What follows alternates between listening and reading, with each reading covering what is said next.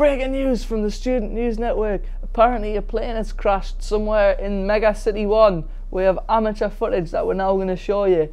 Warning, it is very gruesome, so viewer discretion is advised.